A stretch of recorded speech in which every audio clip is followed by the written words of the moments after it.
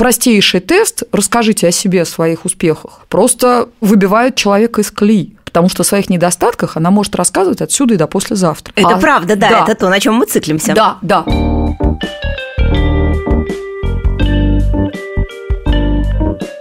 Здравствуйте, это подкаст 45+. Подкаст для современных женщин, которые собираются жить лет так примерно 100 и сейчас находятся где-то в середине пути.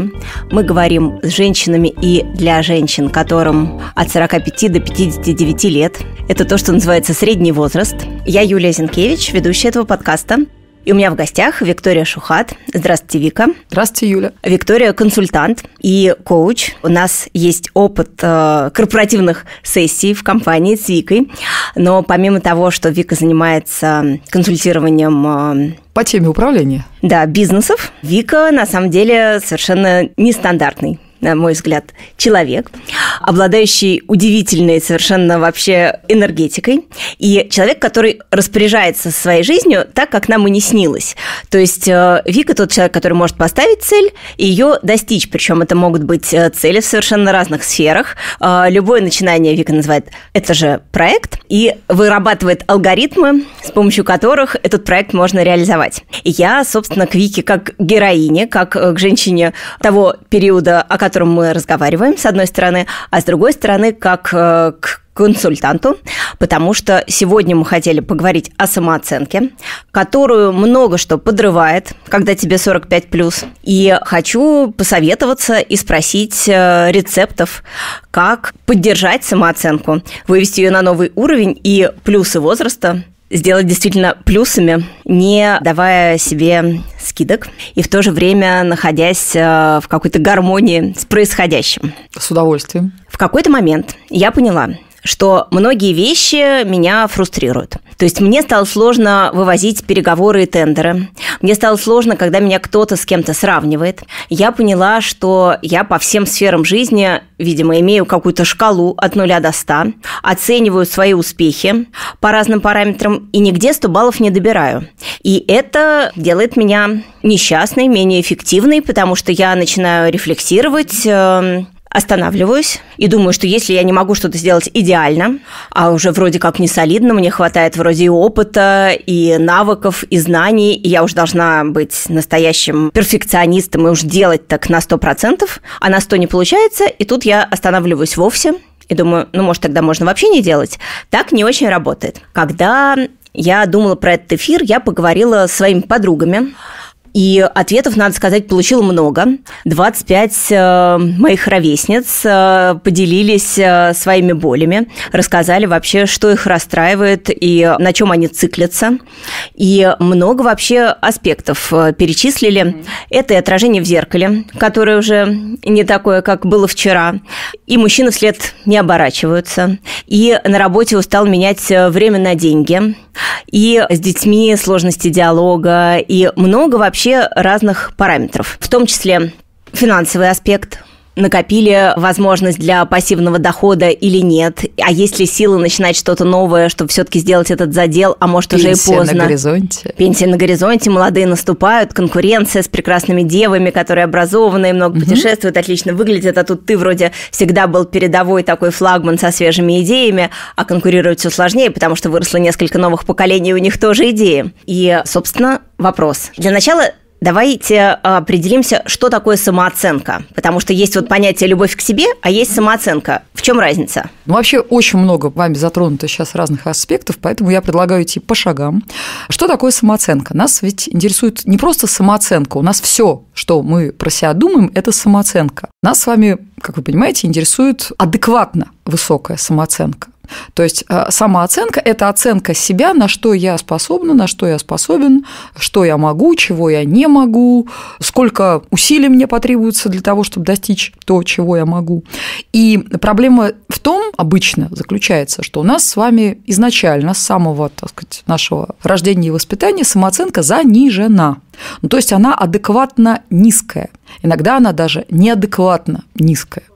А бывают еще завышенные самооценки. Это, боже, как я крут, выше меня только звезды. Я обожаю таких людей. Они идут вперед, как правило, ну, если они к этому еще подтаскивают всякие навыки, то они часто побеждают просто потому, что у них в голове, в картине мира нету идеи, как можно не победить.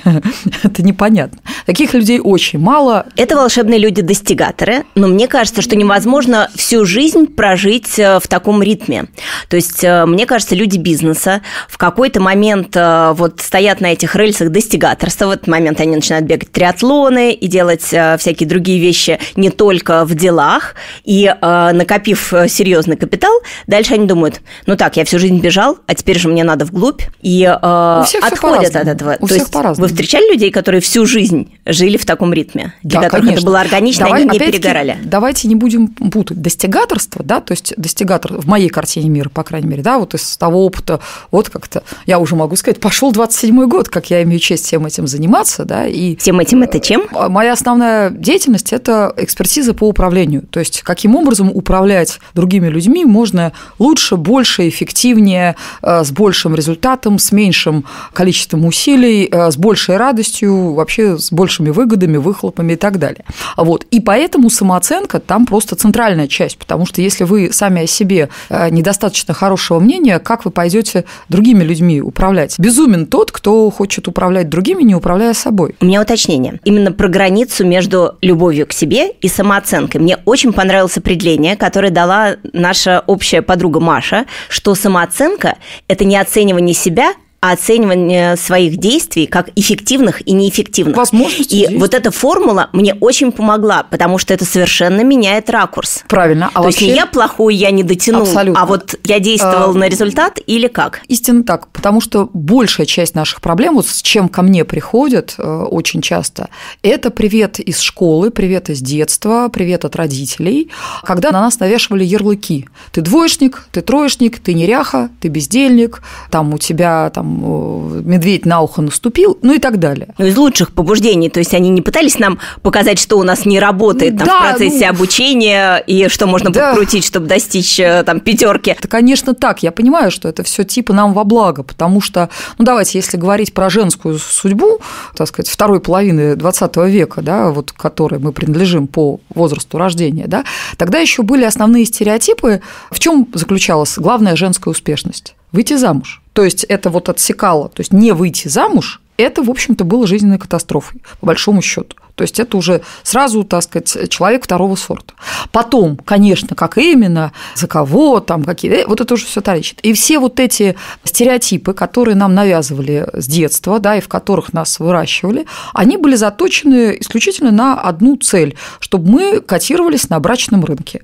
Для этого мы должны были быть красивые, но Э, тихие, терпеливые, покорные, спокойные и так далее, и так далее. Ну, то есть, чтобы кто-то все таки на нас, так сказать, польстился и вот это все замуж взял. Потому что если ты как-то о себе что-то очень много представляешь, то сразу, так сказать, на брачном рынке количество претендентов сильно снижается, потому что с той стороны э, он, значит, смотрит на себя такую прекрасную и думает, не, больно хороша для меня, не, не потяну. Ну, то есть не хватит моего социального капитала. Но мне кажется, что это вот такой вот э, диалог в обществе до начала 20 века, а потом-то это все да менялось. Я вас умоляю, да что вы. Когда мы с вами заводили первых детей, э, у нас, э, как это, возраст старородящий был 28 лет, если вы помните. 28 лет. То есть люди, которые на 20 лет нас сейчас моложе, они даже не понимают и не представляют очень многих этих историй. Дело в том, что нас-то воспитывали те, кто жил сильно раньше, да, то есть и они нам передавали весь свой опыт, э, мы от родителей получаем только то, что было в них, и мы, в принципе, детям в состоянии передать только то, что есть в нас, вот, и поэтому, да, мир уже менялся, но вот эти стереотипы и клише и у нас, и у женщин даже там, скажем, на 10 лет моложе, они оставались ровно такими же. И во многом, да, ну, мальчиков тоже прессовали, потому что их надо было потом в армию отправлять, чтобы они там слушались и не бунтовали, да. То есть это вся была школа добавляла своих прелестей в этом смысле. Это во многом вся грандиозная система формирования э, поколений с заниженной самооценкой.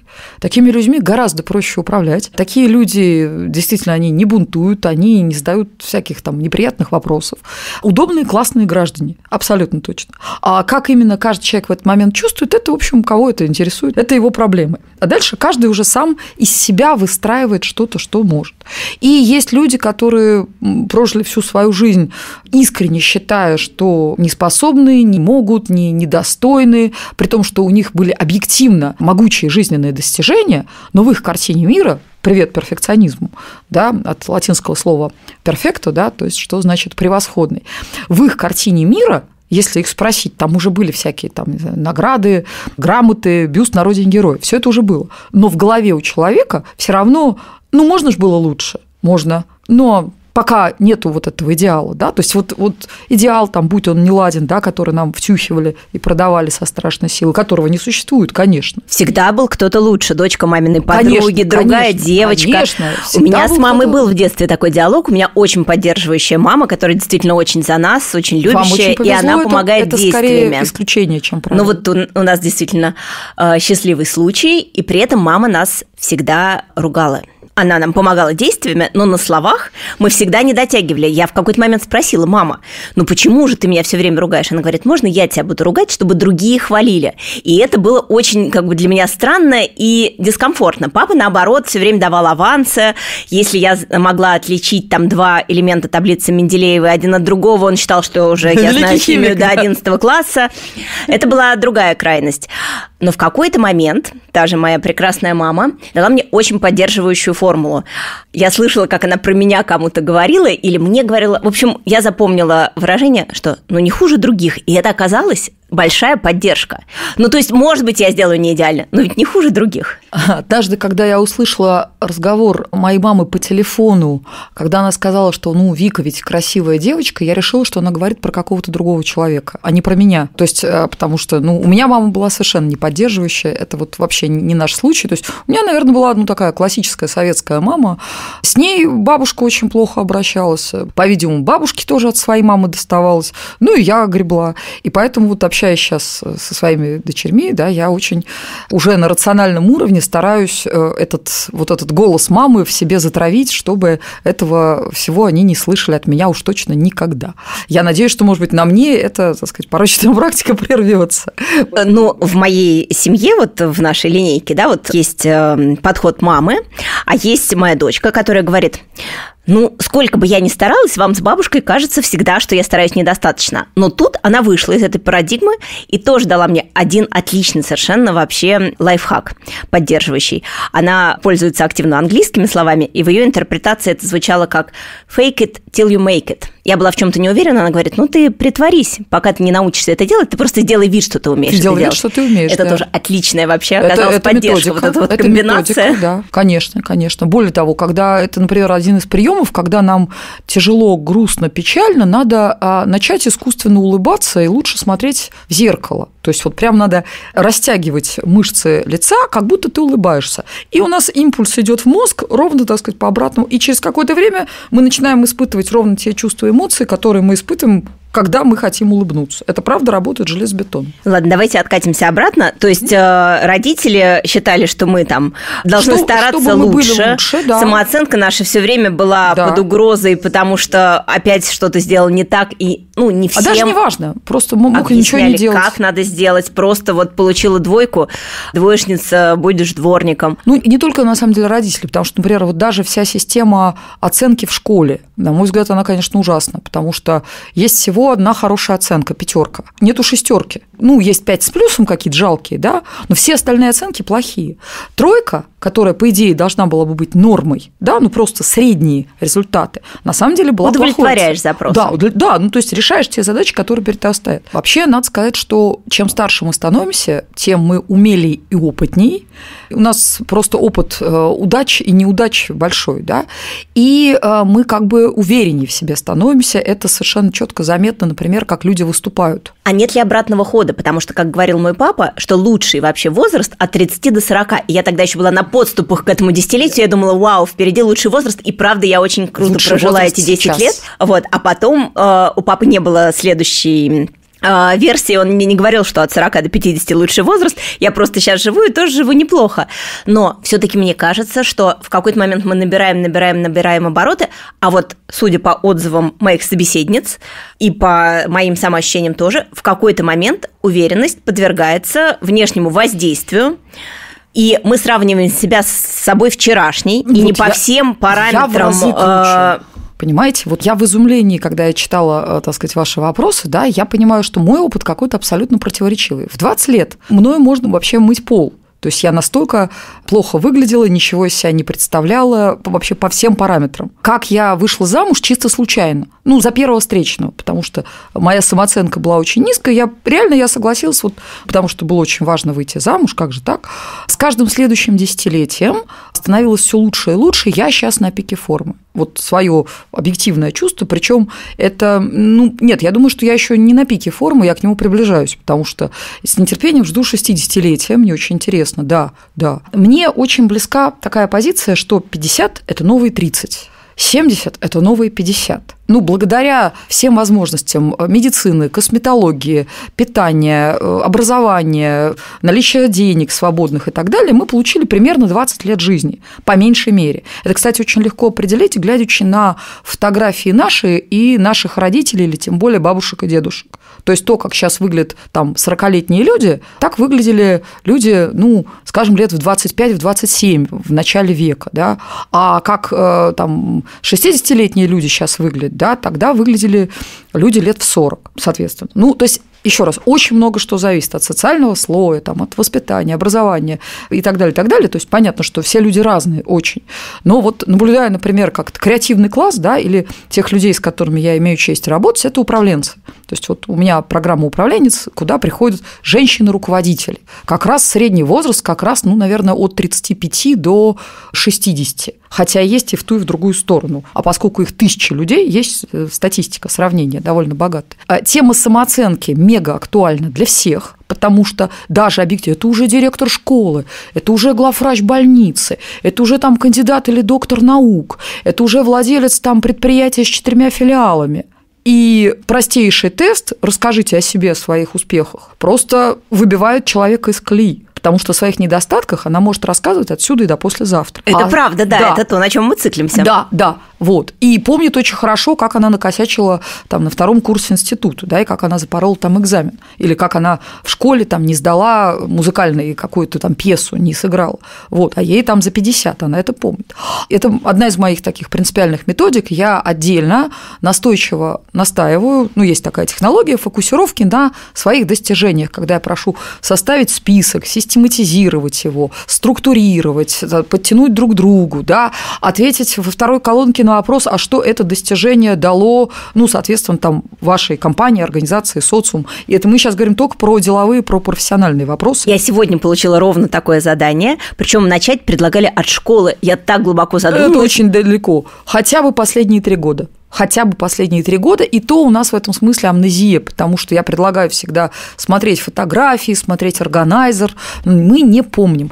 Ну, продолжая, так сказать, вот тему культурного кода, мы цивилизация людей, заточенных на проблемы, негатив и ошибки. Мы цивилизация это в этой части земного шара ну, или мы про, э, нет, люди про, земного про шара в По крайней мере, точке? я говорю про дорогих россиян, так сказать, людей вот этой ну, постсоветской культуры. Потому что любой акт контроля – это что? Это акт поиска ошибок. Это не за что похвалить, а за что поругать. Это разыскивание косяков, это несоответствие как-то плана факту любой акт контроля, который очень болезненно воспринимается и тем, кто контролирует, потому что никто не хочет быть бабой-ягой, и тем, кого контролируют, и это надо фу, пережить и все а не за что бы похвалить да, а не вот за что поставить на вид и сказать, вот умница и молодечек, в следующий раз делай ровно так же. И когда на рациональном уровне люди начинают вот этот простой, элементарный вообще детский прием внедрять в свои, так сказать, производственные практики, да, в переговоры, в общении, просто взрывы происходят восторга. Да, как, какими глазами на меня посмотрели, как они теперь стали стараться, как они приходят и летают, почему? Просто вот, как положено, значит, стали руки в боки, отчитали, потом, а, ну да, надо же похвалить.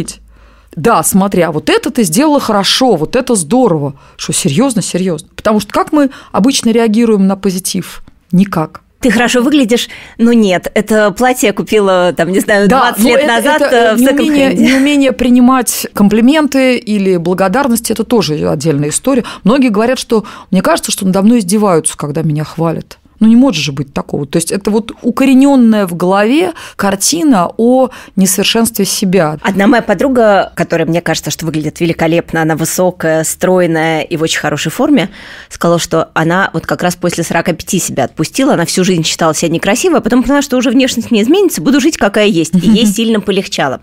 Но все таки давайте из слоя людей-управленцев, женщин-управленцев, вернемся к обычным людям. То есть у меня есть теория, что в хорошей форме и на хорошей вообще энергетической планке находятся люди, которые находятся вот в таком взаимодействии, когда они много отдают и вкладывают. Если ты руководитель производства, то ты там присматриваешь и даешь рабочие места для большого количества людей. Если ты там психолог-консультант, то действительно от тебя люди уходят с облегчением. Или если ты преподаватель, и у тебя действительно есть чем поделиться, ты получаешь много благодарности, комплиментов, и это такой отличный совершенно энергообмен. То есть, когда ты вкладываешь вклад для кого-то, это возвращается сторицей. Но есть просто люди. Вот мы живем среди просто людей, которые далеко не всегда в такой вот лидерской роли, и они оказываются в ситуации 45 плюс, и вот дальше их многое вернемся к началу, расстраивает. То есть, может быть, не такой эффективный энергообмен. Меньше становится вокруг новых лиц, а старые трансформируются, трансформируются какие-то взгляды, происходит расхождение. Же. Иной точно так же. Ключевой момент, который вы сказали, меньше становится, да? Ну, то есть, как только вы понимаете, причем тут я как бы поспорю, что ну, какие-то есть вот руководители, есть э, простые смертные. Да? Руководители – это тоже абсолютно простые смертные. Это довольно массовая вообще профессия – управлять другими людьми. Понимаете, любой начальник ЖЭКа, любой преподаватель руководит другими людьми например, даже не являясь начальником формально, то есть кто-то, кто говорит что-то, а другие делают, так или иначе руководит другими людьми. Поэтому это довольно массовая история. Но сейчас даже не об этом. Вы сами сказали, что и вдруг вы замечаете, что там э, все привычное, особой радости ничего не производит, кругом такие же зануды, как и вы, как только вы это осознали, ровно в этот момент вы можете поменять ситуацию. И только от вас зависит, какое будет окружение, и вы можете его поменять вообще на 100%. Ну, вот как я сделала в свое время, там, в 40 лет, я практически полностью в очередной раз поменяла свою жизнь. То есть я переехала, я сменила круг друзей, я сменила вид деятельности, э, я сменила супруга. Вообще все поменялось. У меня в 42 года был такой подход. Э, мне показалось, что в 42 года со мной случился кризис среднего возраста. А почему у кризис меня, это? Ну, вот у меня было такое ощущение выгорания, видимо, и э, желание перемен. И в этот момент у меня поступили уже в вузы оба ребенка. Я подумала, ну все, я высвободила некое количество Свобода. времени для себя. Как же я могу обратиться со своей прекрасной единственной жизнью. Я погрузила в э, машину вещи летние, вещи зимние, там и босоножки, и шубу, и подушки, и пледы, и просто переехала, это заняло примерно тогда по скоростной трассе 5 часов, из Москвы в город Петербург. Поселилась в прекрасном историческом здании на улице Колокольная и прожила там счастливейший год в другом окружении, в другом контексте, и это была хорошая перезагрузка, с одной стороны. С другой стороны, это был совсем даже и не кризис, а просто вот э, желание перемен, оказалось, что все-таки работа вся сконцентрирована в Москве, и я вернулась и продолжила функционировать здесь. Ну, а могла бы еще куда-то дальше поехать? Ну, могла бы, конечно. Да, там но... в Париж, в Нью-Йорк, в Токио. Но это именно вот способ переключения. И он не всем доступен, совсем не всем доступен, не потому понимаю, что почему. объясню, потому что очень многие наши ровесницы оказываются в ситуации, когда дети, они же разных возрастных категорий. Вот у меня рано появились дети, у вас рано появились там первые дети, да?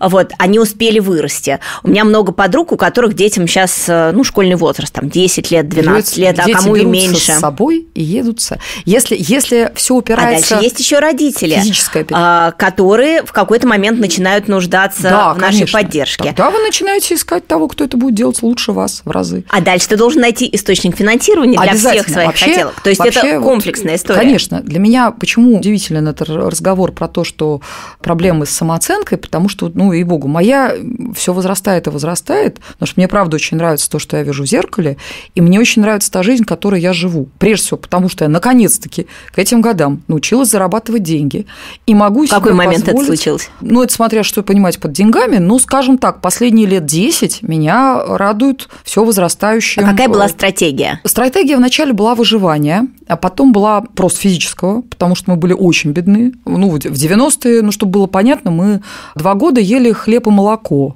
Я ездила в начале 90-х, я помню, как сейчас, посмотреть на помидоры, потому что мне очень хотелось помидоры, но они, их цена находилась, так сказать, за пределами. Мы были бедные и по советским меркам, и стали абсолютно нищие, когда началось вот, ну, то, что началось. Вероятно, это был тот самый волшебный пендель. Да, и я очень ребенок возрастных родителей, поздний, да, и они к этому моменту все уже вышли на пенсию, в общем, и до этого не особо на что годились, а после этого вообще сказали, что ну давай, все, теперь ты. А сколько вам было лет? 17. А вот прям так быстренько, да, да начинать? Да, да, да, 17 лет. А это еще учеба была в институте? Конечно, был второй курс, да, как раз. Давай вот. ты сама за себя или давай нет, ты давай, за себя и нет, за всех? Ты за нас, э, как это, сама за себя у нас вообще не существовало. И такого не было как бы никогда. Как это? Есть семья, которую э, надо обслуживать, и надо сказать, что для меня это был потрясающий такой толчок, потому что я до сих пор так живу, и вот, ну, к сожалению, моих родителей уже нету, но есть, например, тетушка и дядюшка, и я надеюсь, что они проживут очень долго,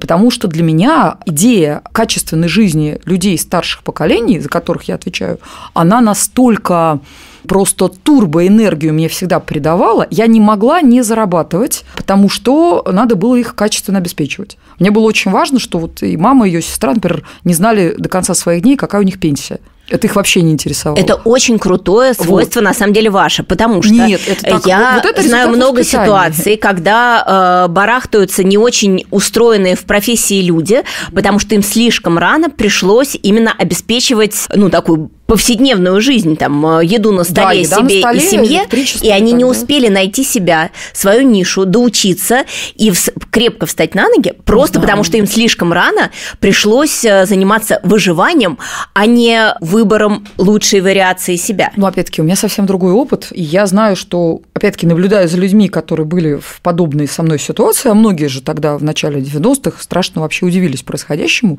Как-то, доучиться ты всегда сумеешь ты всегда успеешь. Если у тебя есть цель, если тебе это надо, то ты найдешь 10 тысяч способов, и ничто тебя не остановит. Это, знаете, как человек, который хочет в туалет попасть. Он невероятно мотивирован к этому. Примерно то же самое. Может быть, это отмазки, ах, я была вынуждена заниматься там, не знаю, младшими братьями, и поэтому я не закончила, да, там ничего. Может быть, это как-то оправдание? Мне всегда казалось, что разговоры про уровень энергии – это просто разговоры, что нет, есть почему? просто люди какие-то ленивые нет, нет, и недостаточно ну там мотивированные и так далее, но оказалось, что это связано и с национальностью, и с большим количеством скорее, скорее а, там генетических каких-то аспектов, да, и Павлов, с типологией Павлов. А, личности. И действительно, вот кому-то дано столько энергии, что Согласна. он может э, вытащить старшее старшее поколение, младшее Согласна. поколение, быть при этом в романе, управлять заводом и ему будет нормально, это его заводит еще больше, да, на какие-то свершения, а есть люди, которым реально не хватает энергии сделать пять дел в течение дня, ну, просто потому что ему столько отпущено. Мне раньше казалось, что это так не может быть. Удивительные люди, например. А оказывается, это действительно э, реальность, это поэтому реальность. наши рецепты, они применимы только к людям с равным уровнем энергии. Ну, нет, не совсем, потому что, опять-таки, вот, ну, я в какой-то момент, осознав, что вот моя, например, старшая дочь меланхолик, ролик, что было для меня просто изумлением и откровением. Я никак не могла понять вообще, кто это. А потом, ну вот так все разложили, это, да, это такой тип темперамента. Вот это чистая физиология. Это привет от собаки Павлова. Есть холерики, сангвиники, флегматики и меланхолики. Самые выносливые – флегматики, самые энергичные – сангвиники. Да, самые эмоциональные – холерики, а меланхолики – это тонкие чувствующие натуры, но которые действительно регулярно впадают в спячку вот, ну просто у которых так яркие и остры переживания, что они на это как бы кладут вообще всех себя и на, так сказать, часто поддерживание каких-то э, базовых функций уже ресурса не хватает. Вот. При этом, конечно, я твердо знаю, что любой человек, осознавая в тот момент, как только мы понимаем, что происходит, кто мы есть, все, вот эта физиология над нами не властна. То есть, ну, властно, но до какой-то степени. Мы можем совершать разные действия, мы можем делать разные упражнения, Ну, знаете, как вот в школу музыкальную попадают дети с очень разным уровнем слуха. А те, кто ее закончили, все прекрасно. У тех мамы хотели, чтобы эти Нет, дети занимались мамы- музыкой. мамы а мама хочет? Ключевой вопрос. А, нет, мамы по-другому. Понятно, усилия разные люди тратили разное количество, но просто, да, исходные данные были у людей разные. Но раз они попали в эту среду, и раз они там 8 лет там или сколько занимались, и раз они там 3 часа в день долбили, да, фортепиано, вот они к концу выпуска, у них у всех прекрасный слух, и у них у всех прекрасный навык. Как это возможно? При том, что исходные данные были разные. Кому-то это давалось легко и непринужденно, кому-то требовалось действительно 3 часа э, бить по клавишам. Но то, что каждый человек, я убеждена, и вот у вас неоднократно, мне кажется, прозвучали эти, на мой взгляд, ограничивающие убеждения, но не все же могут. Да нет же, все могут. Вот я на том стою. Любой человек со своей жизнью может сделать, что хочет, если хочет. Давайте представим, что я некий собирательный образ моих подруг. Сижу тут Так. такая напротив консультанта. Так не бывает. У каждого нет двух одинаковых людей. Безусловно. Тем не менее, да, я знаю более э, своих собеседниц, вот я их Итак. аккумулировала. И вот, например, давайте прям по порядку. Смотрим в зеркало, а там... э, То, что нам не нравится. да, там Составляем. наша мама. Отлично. Ну, это, кстати, не так плохо. Может быть, и наша Может бабушка. быть, да. Но Я еще помню. хотелось бы, чтобы там мужчины вслед оборачивались и в красном платье эффектно выйти. Прекрасно, с удовольствием, А да. Что делать? есть Соста- э, Ну, во-первых, а как обратитесь к профессионалу. Опять-таки, мы живем в потрясающее время, когда можно сделать ну, невероятные трансформации. Есть там целая передача там, на 10 лет моложе, да? То есть обратитесь к профессионалам, идите к косметологам, идите к пластическим хирургам, идите к диетологам, идите к специалистам по формированию фигуры. Все эти люди есть. Это все про достигаторство. А вот Почему мне очень нравится тезис, какой ты должна быть. Ты можешь быть любой. Вот ты не обязательно... Если ты счастлива тем, что ты себя видишь в зеркале и принимаешь, да. Я помню, нам было 37 лет, у нас было 20-летие выпуска школьного, то есть 17 плюс 20. И пришли люди. У меня был культурный шок, потому что вот 20 лет спустя мы все одногодки, да, тогда все в одно и то же время приходили в школу. То есть там был диапазон от девочек-подростков до бабушек. То есть 37-летние женщины, москвички, окончившие французскую школу, выглядели с разбросом лет в 20, реально.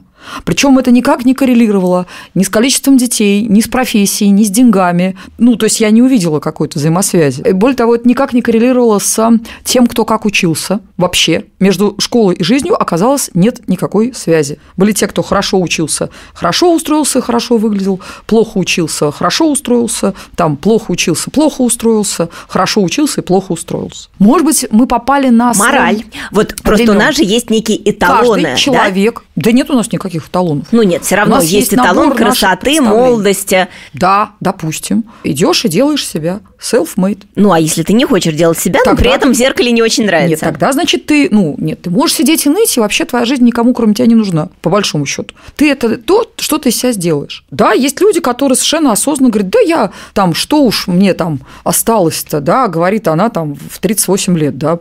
А есть, вот в Париже меня изумило массовое количество изысканных стареньких, даже не пожилых, стареньких француженок, то есть которые выглядели, ну, я не знаю, лет на 80 и были похожи на там селедку худую, да, а при этом от макушки до пят, вот до кончиков ногтей, это были безупречно изысканные дамы. Но Что это мешает? old money. Жизнь э, для себя По-разному. красивой, я думаю. Нет, очень по-разному. Почему же? Это не стоит уж таких сумасшедших денег, нет.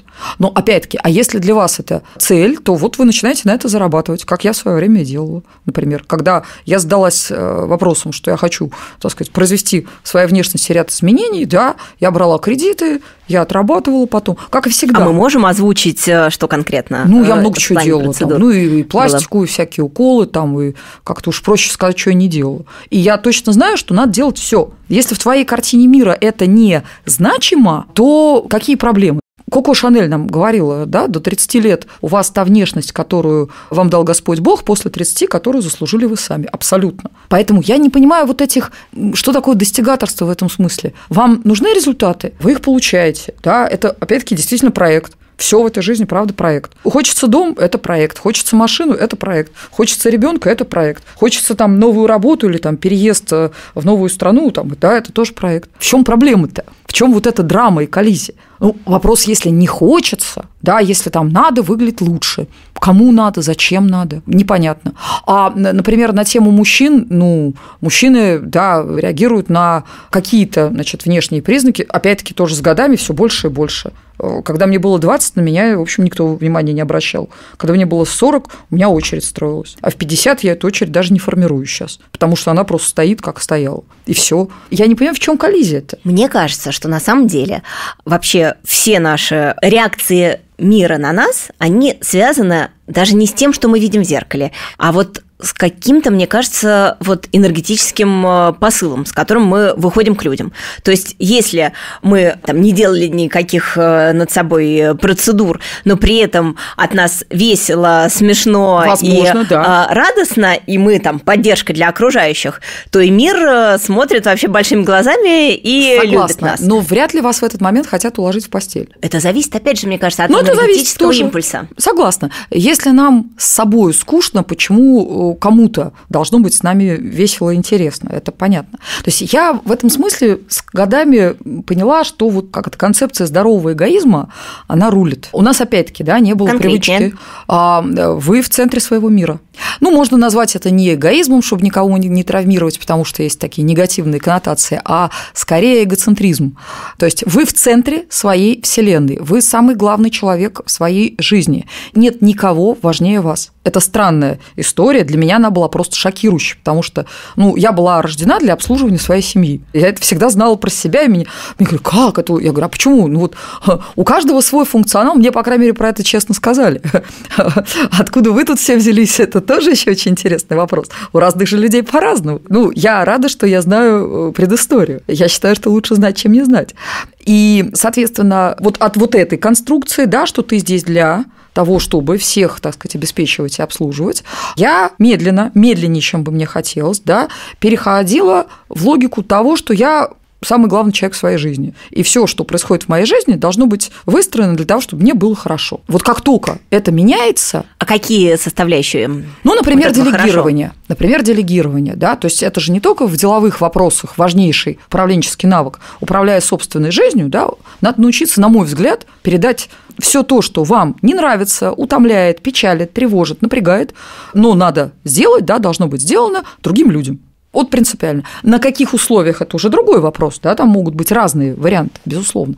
Но себе надо оставить только то, что вас радует, вдохновляет. И мне поэтому люди да, часто задают, как вы, какая вы энергичная, как вы все это успеваете. Я говорю, потому что я делаю только то, что мне нравится. А что мне не нравится, значит, я твердо понимаю, что пусть я найду человека, который там за деньги, по бартеру, еще за какие-то договоренности будет делать это и сделает это в 10 раз лучше, чем я, и все мы будем довольны и счастливы. Но для многих людей это совершенно вообще потрясающая мысль, как это так.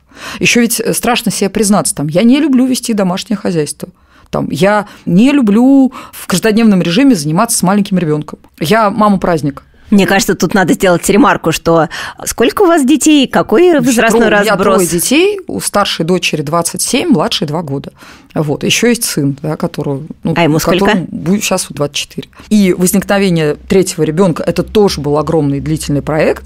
Вот. И я бесконечно счастлива, что она существует. Это, кстати, тоже прекрасная прививка. И она появилась в каком возрасте? 48. А мужу? А мужу было 59 в этот момент он впервые стал отцом. Отличный проект. Да, отличный проект. Вот. И это был проект восьмилетний. А, но я понимаю, что для того, чтобы я была с ней счастлива и весела, и чтобы я была действительно для нее источником радости и позитива, и чтобы я жила свою жизнь как, как будто мне 30, потому что 50 – это новые 30. Мы же уже поняли этот. Да, вот я так сейчас и живу. Вот у меня 30-летняя женщина, двухлетний ребенок. Что в этом странного? Ничего. Это, это прекрасная история, но это все-таки довольно редкая история. Чаще наши ровесницы в ситуации, когда дети 27 и там 23-4 лет подросли, вышли вон, и тут бац, синдром опустевшего гнезда, и ты такой, раньше было в каждой комнате мам-мам-мам, а теперь вроде как надо ты никому, да. Э, заново Чем свои заниматься? сценарии. Ну, для этого, э, во-первых, можно завести еще ребенка, да, но если вы не готовы к таким,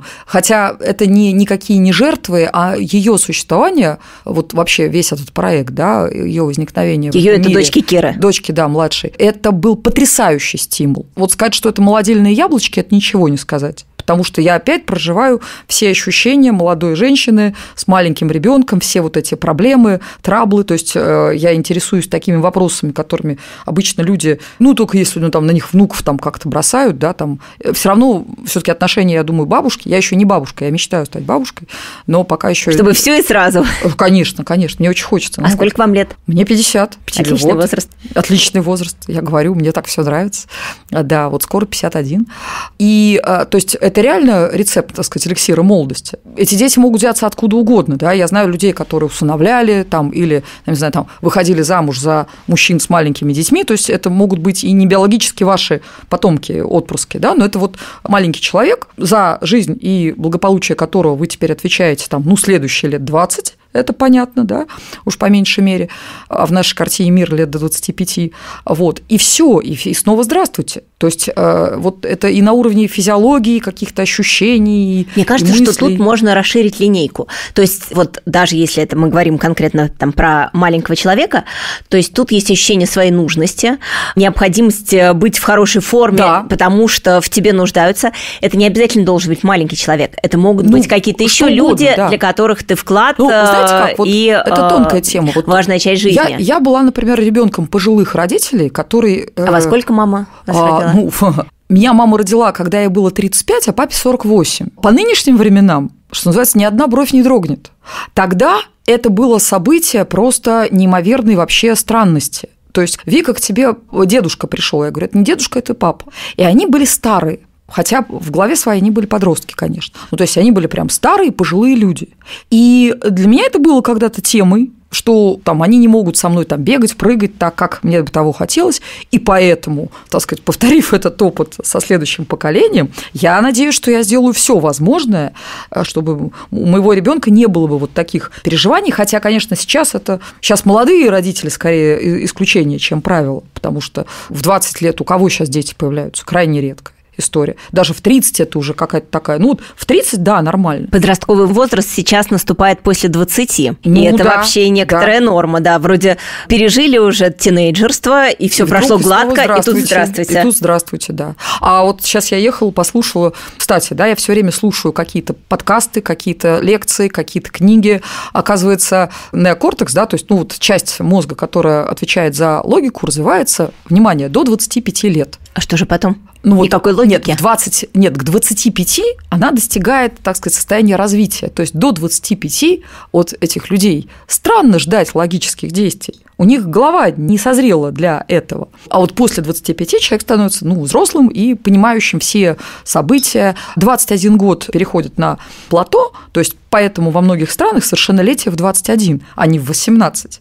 Да, потому что в 18 это еще не человек взрослый, вот, ну, который осознает последствия своих действий. Поэтому там, что он делает, там, это уже довольно странно, да, там, как он женится, выбирает там, и, и так далее, и так далее. Вот, в 21. А вот этот процесс завершается в 25. Человек взрослый в 25. Дальше он взрослый, взрослый, взрослый, а потом ему 45 плюс, а он вроде как взрослый, но есть вопросики. Ну, потому что да. Э, жизнь э, несправедлива. Вот опять же, абстрагируемся от э, руководителей и придем к обычным сотрудникам, ага. которых нанимают на работу. Я говорила с своими подругами, живущими в Европе, и они говорят, ну так-то мы возраста не ощущаем, только кадровик нам напоминает, и когда нам нужно соревноваться угу. за рабочее место, все сложнее соревноваться Это очень с молодыми. Тема. И в этой Тенденция ситуации... поменялась. Я вас с этим поздравляю. Всем привет. Потому что, ну, про Европу не могу сказать, потом Европа все-таки очень разная, но давайте называть вещи своими именами. Качество образования настолько упало, что 20-30-летние люди, к сожалению, не могут объективно конкурировать с 40-50-летними, даже закончившие те же вузы и так далее, и так далее. Знаете, почитав чаты любые, вы легко поймете, что 80% людей, которые в них э, что-то писало, никогда бы не получило высшего образования, которое они получили. Почему? А потому что они бы не сдали вступительного экзамена по русскому языку. Ну, то есть получить шанс на высшее образование у них нет в реальности никакого. По крайней мере, по тем меркам, э, которые применялись вот когда-то к нам. Вот. И меня восхитила э, одна из моих учениц, рассказала, она преподаватель в ВУЗе, не начальник, преподаватель, говорит, да, я недавно им сказала своим студентам, когда они в очередной раз запороли какую-то там контрольную или экзамен, говорит, говорит, отлично, друзья мои, учитесь хуже и хуже, Потому что если вы так учитесь, это значит, что у меня и моих ровесников бесконечное количество времени и рабочих мест. Потому что кто вас возьмет на работу, вы нам ни разу не конкуренты. Да, но при этом у каждого HR есть пометка до 45. И это действительно mm. так. По-разному. Мы видим, что были эксперименты прекрасные. Я читала в запрещенной в Российской Федерации социальной сети Facebook про то, что вот просто эксперимент провела барышня. Она ну, женщина под 40, да, и очень мало было откликов на ее резюме. Она оставила все свои компетенции, весь свой роскошный опыт, просто стала мужчиной там 34 лет. И тут же все HR на нее конечно, бросились. Безусловно. То есть она, наверное, могла бы остаться там женщиной, но там тоже поставить иной возраст, подкрутить. Но это на самом деле ну, понятно, что результат... Это и сексизм, и джизм одновременно. Да, да. вот э, а, из отвечу, на- нашего отвечу. времени. Что делать, что делать обычному человеку, который знает, что это однажды произойдет. Да? Ну, во-первых, не решать этот вопрос примерно в 44,5 года, да, а решать его, э, ну, например, лет в 38. Класс, только мы уже 45 плюс. Мы уже перескочили вот эту возможность, так, мы уже в этой точке, минуточку. технологии Еще меняются, раз, мы... мы не успели их освоить. Это же правда. Не вот. понял, пошли освоили, пошли освоили. 60, 70. Прекрасно. Вот я программистов наблюдаю 70-летних. Вообще, пошли. В чем проблема? Конечно. Еще раз, как только мы себе ставим ограничения, мы живем внутри этого кокона. А, ну и, опять-таки, это не есть плохо. Но если вы хотите каких-то, так сказать, достижений, да, а может быть вообще ну, сколько зарабатываю, столько зарабатываю, а зато я там дома пеку пирожки, или там зато я вот там, не знаю, шторы делаю ручной работы, ко мне вообще из подружек очередь стоит. То есть очень важно, чтобы у каждого человека была некая сфера, некая ниша, где этот человек очень успешен, может быть, это не работа. К сожалению, к сожалению, моему великому, очень многие люди делят вот эту конструкцию работы и хобби. Вместо того, чтобы хобби превратить в работу и зарабатывать им деньги и получать огромное удовольствие. Да? Есть важная ремарка. Хобби доставляет нам удовольствие именно потому, что это дело, которое не подлежит э, некой оценке, и у нас нет в конце Почему месяца KPI, же? потому что делаешь в удовольствие э, даром, но это действительно твой источник энергии. Как только ты превращаешь хобби в работу, у тебя появляется KPI, успел ли ты к сроку, если ты взял заказ, там, не знаю, на ручную вышивку или пэтчворк или еще что-то, и все, ну, и это уже не источник энергии, а работа. Тоже не соглашусь. От сих до сих. А, вот я когда-то свое хобби сделала работой и наслаждаюсь, и прусь вообще с каждым днем вообще со страшной самобытной силой. Я таких очень много людей знаю, как раз которых, как, как там, не было бы счастья, да несчастье помогло. Выгнали их из, там, из своего института, да, или там закрылся их завод, и как бы привычная традиционная работа, куда их встроили там когда-то там те же родители, да, нет, ты будешь инженером. И она пошла расписывать э, эти тарелки, да, и теперь делает международные выставки, да, или там бусики там ткать какие-то. Вот. А у меня море таких примеров. Но, опять-таки, мы не живем, э, не приходя в сознание. Да? То есть, как только мы начинаем задумываться об этих вещах, я считаю, что в любой момент времени можно посмотреть, супер, а что у меня есть, а какие у меня ресурсы, а какие у меня связи. С возрастом у нас много контактов наработанных, да? у нас толстые записные книжки, мы знаем разных людей. А что я умею делать, а что мне надо, а что востребовано, а кто меня поддержит. Вот это вот, как это, нетворк, да, социальщина вся. А в отличие от людей 20-30 лет, которые гораздо более индивидуалистичны и которые заточены, ну, то есть они на отношения, потому что им понятно, да, биология вызывает, вот, э, на самореализацию.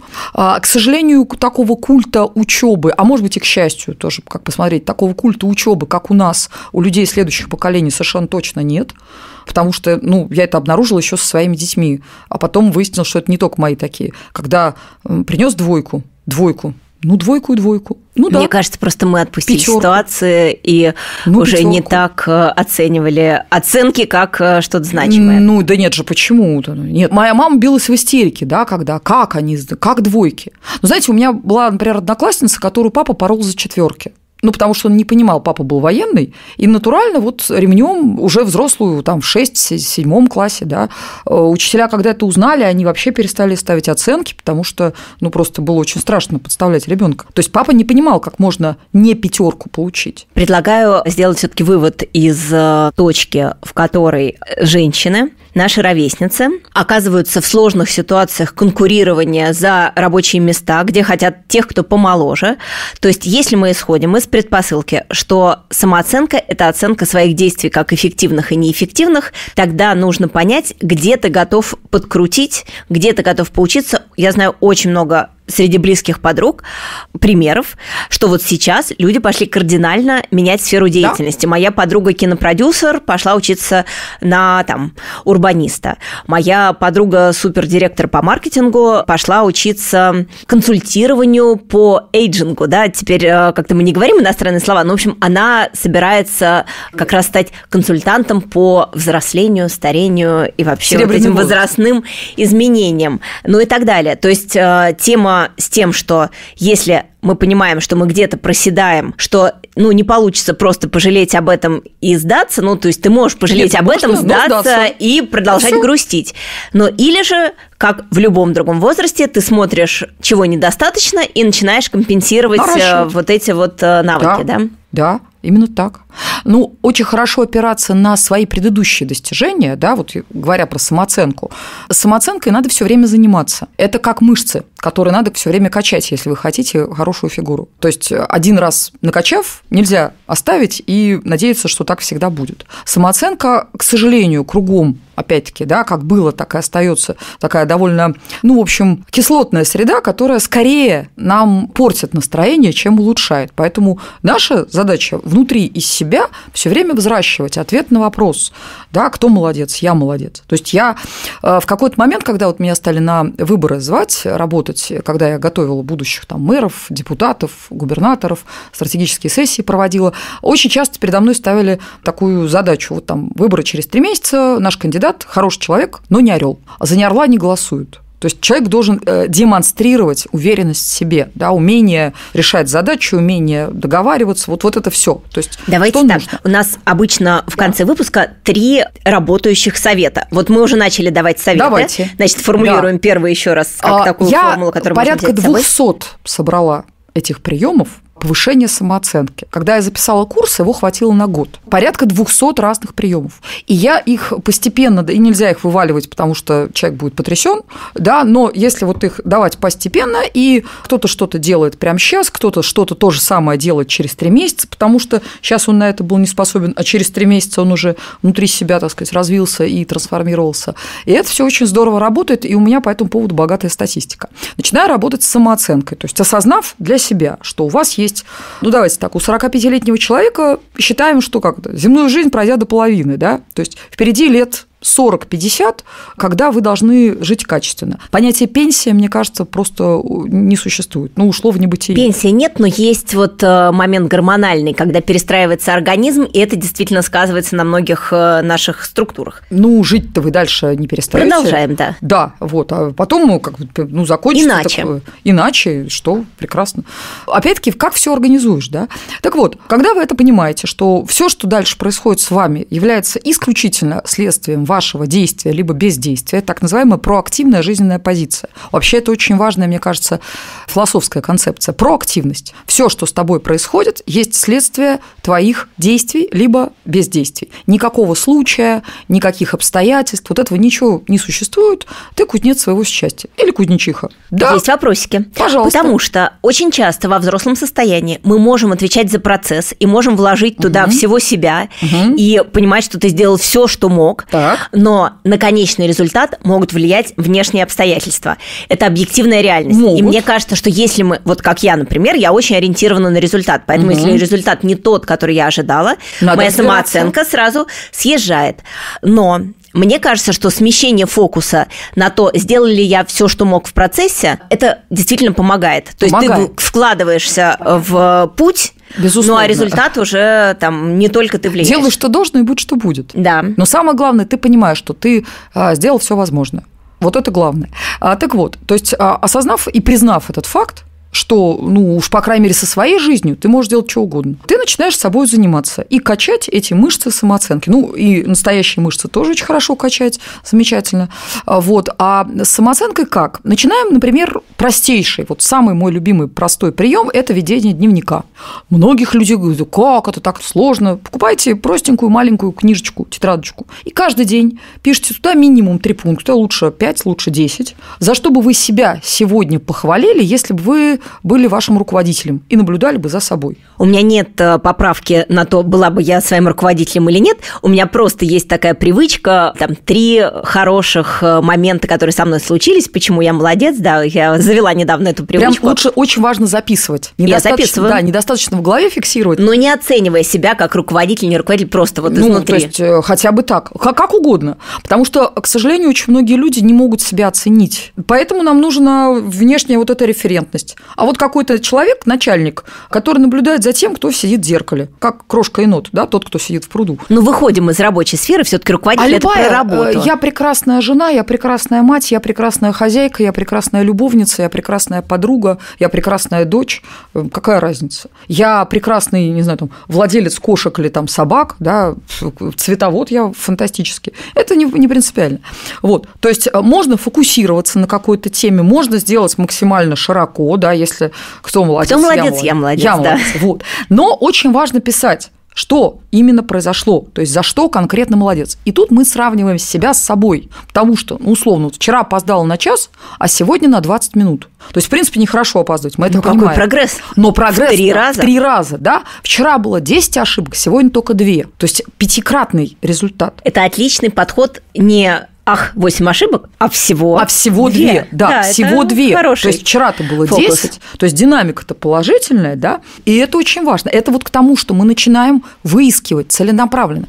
Примерно 2-3 недели спустя, если человек вот это каждый день делает, да, причем желательно не пропускать ни субботу, воскресенье, вас начинает, так сказать, подкидывать в течение дня, да, о, а вот я молодец. А вот про это надо не забыть написать в дневнике сегодня вечером. А вот это, а вот, ну, то есть поиск, поиск, поиск, да, причем считайте, вам за это, не знаю, там зарплату платят, KPI у вас от этого зависит. Вы не можете это не делать. То есть если вы избрали для себя этот путь, вы решаете, что три месяца подряд я веду дневник. Замечательно.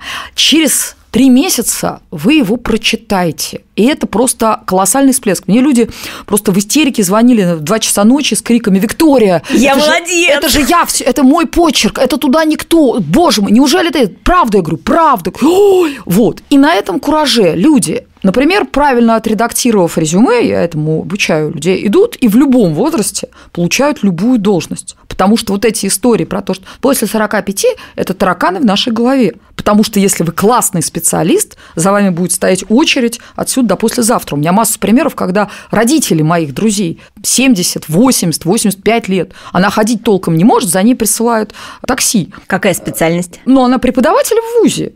То есть она никакой не начальник, она просто пре- прекрасный профессионал. И, кстати говоря, это еще одна прививка, так сказать, от сомнений в себе. Надо стать блестящим профессионалом хотя бы в чем-то, хотя бы в какой-то отрасли, хотя бы в каком-то виде деятельности. Может быть, в в своей работе, профессии, да, а может быть, в печенье пирогов. Но чтобы вы точно знали, что ну, вот ваш Наполеон это, ну, просто это самый суперский Наполеон. И не гнушались бы заказами сделать этот Наполеон добрым людям за хорошие деньги. Ну вот моя прибавка к этой формуле, что а чем ты можешь поделиться? В Да. чем твой вклад в, В чем твой окружение? вклад и признанный, признанный окружающим. Ну, слушай, твой Наполеон – это просто вообще сдохнуть, ум есть. Дальше. Аффирмации. Это очень потрясающая штука. Я довольно скептически к этому относилась, пока я не стала разбираться и там, поначитавшись всяких книг про подсознание, да, я получила ответ, почему это работает. Да, потому что вы формулируете словами в настоящем времени, коротко, четко, ну, минуты полторы, записывайте себе на диктофон. В настоящем времени те положительные утверждения, которые уже описывают ваш великолепный формат, да, вашу великолепную реальность. Там, например, Меня зовут Виктория Шухат, я блестящий профессионал, все мои советы гениально работают, люди, которые ко мне обращались, обращаются еще раз и еще раз, зовут друзей, знакомых и родственников. То, что я советую, работает на 100%. А, я заработала миллионы рублей, долларов, там, тугриков, шуршиков, а, благодаря тем людям, которые с удовольствием оплатили мои услуги и так далее. Коротко, Тут, ёмко э, На самом деле, я недавно делала это задание с психологом, с нашей с тобой общей подругой, и мне очень понравилось э, дополнение к этой задаче, что ты не просто формулируешь какой ты, да, и в чем ты там молодец, и как-то представляешь идеальную ситуацию, в которой ты хочешь э, быть и себя чувствовать, но за каждым словом, которым ты оперируешь, есть э, твое четкое вот понимание, что ты имеешь в виду. Сейчас расскажу свой пример. То есть у меня была формула, и есть, что я любящая и любимая, легкая и счастливая. Но это не просто вот четыре слова, а за каждым словом да, у меня есть э, да, базис. Потому что, например, про легкость. Недавно говорили с подругой, и она мне описывала отличие своего прекрасного красавца э, мужа итальянца от его отца. И говорит, вот очень они похожи. Но еще у нашего деда есть такое чудесное свойство. Что бы ни происходило, он все время говорит в конце, ладно, идем дальше. И вот в этом есть легкость. И вот еще у меня То очень есть осталось... За каждым понятием должна стоять конкретика. Да-да-да, у тебя вот должна быть какая-то вот история, почему это именно так. Вот для меня легкость – это вот пройдем дальше. А еще вот мне очень нравится выражение из татарского языка, что у них нет слова «назад», у них есть только слово «вперед». По-моему, это звучит как «альга» или «альга», ну, в общем, примерно примерно так, да, что они всегда идут вперед, а если надо пойти назад, они разворачиваются и опять и идут опять вперед. вперед. Вот для меня вот эта вот легкость про то, что что бы ни случилось, мы вот, все равно да. легко продолжаем так шагать. Вот, аффирмация, Например. да, аффирмация должна, ну, для того, кто ее создает, быть абсолютно прозрачной. То есть никаких абстракций, никаких общих каких-то фраз размытых таких, да, четко, ясно, конкретно. Все вот уже произошло. Про Вы любящую... описываете вот эту И любимую тоже вот э, хотела рассказать, что у меня стоит за этим понятием. Мне очень понравилось э, в диалоге с э, астрологом. Я однажды, и даже не однажды, а пару раз в жизни ходила к астрологу, и это было очень занимательно. Ну, это же в целом математика, да? Вот, и они считают э, там какие-то наши даты. То есть не то, что я вот верила серьезно, но это был интересный эксперимент. И мне очень понравилась одна подсказка, что вообще в эзотерике есть две энергии. Энергия страха и энергия любви. И вот все, что с нами происходит, мы делаем из одной энергии или из второй. И вот страх – это вот страх, что воды в конце жизни не подадут, а останусь ну я да, там без дела, нищета. без денег, без окружения, вообще одинокий. Вот это вот все как бы страх, да, и что дети там э, обо мне не позаботятся должным образом. А любовь – это же совершенно как бы по-другому, да. Вот я сейчас там поддержу ребенка не потому, что я боюсь, что он мне воды не даст, а просто потому, что мне пусть этот прекрасный ребенок э, встанет на ноги, будет э, устойчив и так далее. И там мытье посуды, которое которая меня там расстраивает, ах, они не помыли. Но нет, я же хочу, чтобы мой дом был уютный и э, чтобы все чувствовали ну, да, его домом, конечно. поэтому я помою посуду из любви к ближним, и им будет здесь хорошо и, и э, атмосфера. И вот это важно под каждое слово Согласна. подкладывать. Согласна. Еще очень круто, крутое упражнение представить ситуации, которые уже были в твоей жизни, когда вот у тебя было ровно вот это ощущение, вот какой-то вот такой вот счастливый, наполненный того, день, вот почувствовать себя почувствовать. в нем. Очень важно вообще, ну это вот, кстати, к третьему приему про самооценку, да, ставить э, цели. Ставить цели, причем ставить их очень умело. Не просто четко формулировать цель, что ты хочешь, а эмоционально ее подкреплять. Потому что масса экспериментов, если ты просто ставишь цель, не работает. Если у тебя просто есть какая-то размытая хотелка, желание, стремление, не работает. Работает только когда сочетается рациональное, четкое вот описание, что конкретно должно быть, да, вот, не знаю, смарт нам в этом помогает, да, там, к такому моменту такие-то показатели, исчислимые результаты, которые важны и влияют на то-то и то-то, да, и при этом напитанность своими стремлениями, что вам это правда хочется, потому что ведь, к сожалению, цели бывают часто такие наведенные, там, я хочу отдать ипотеку, закрыть. Нет, я не хочу закрыть ипотеку, на самом деле. То есть я знаю, что это положено, это надо, но на эмоциональном уровне меня это не занимает, допустим, да, и тогда ничего не получится, и тогда можете ставить эту цель хоть вообще да, морковки на заговине, но оно не работает. В этом я глубоко материалистичный человек, от эзотерики я далека, я просто понимаю, что это как-то, ну, не знаю, квантовая вселенная, да, такая. Работает, когда мысль материальна, это мы уже поняли, да, вы четко видите этот результат и эмоционально Вот прям на уровне запахов, вкусов, ощущений, цвета, температурного режима, вы переносите себя в ту реальность, где уже все произошло. То есть где у вас уже там, скажем, не знаю, там выплаченная квартира или там прекрасный муж, который вам цветы принес, или там ребенок э, там первый приз получил, вот что-то такое, да. Вот. Но, кстати говоря, считается, что лучше собой заниматься, а не мужьями детьми. Помните, мы же в центре своего мира. То есть, э, по идее, надо формулировать все цели применимо к себе любимый, а не к другим людям. Все остальные в этой жизни могут делать, что хотят. Самое главное, что вы со своей жизнью делаете. И когда мы хотим, чтобы там наш ребенок принес приз, да, или там наш муж принес нам эту там какую-нибудь, не знаю, огромную красивую охапку роз, то это не про нас. Нам надо почувствовать себя человеком, э, который получил охапку роз. Ну, хорошо от мужа, можно не от мужа.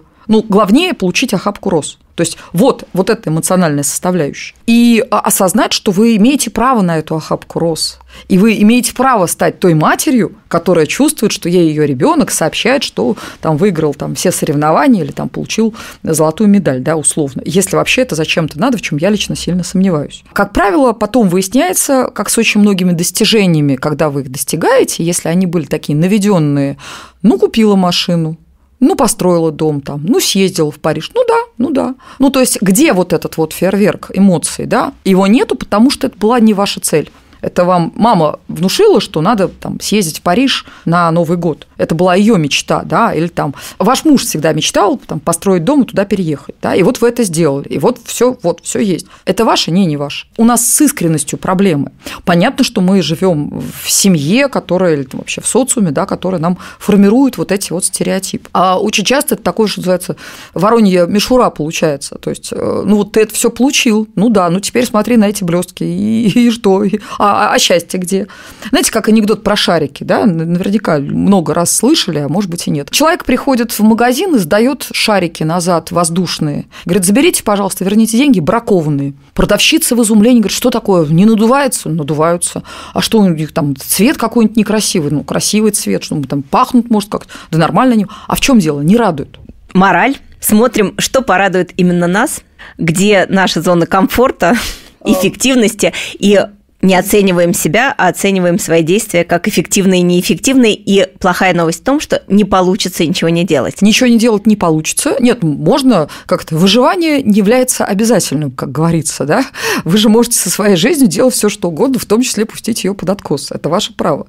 Но если вы становитесь в центре своего мира, а вы удивительным образом обнаруживаете, как, э, так сказать, мудрая и э, щедрая Вселенная подкидывает вам разные возможности, разные ресурсы, разные руки помощи протягивают вам. Вот ну, на том стоим. То есть как только вы действительно начинаете заниматься своей жизнью и живете себе на радость, чего я всем и желаю. А если мы собираемся жить долго, а мы собираемся жить долго, то точно совершенно стоит в середине пути соломки подстелить и продумать сценарии, при которых э, вторая половина жизни будет наполнена смыслами, Сильно круче первой. людьми, интересным.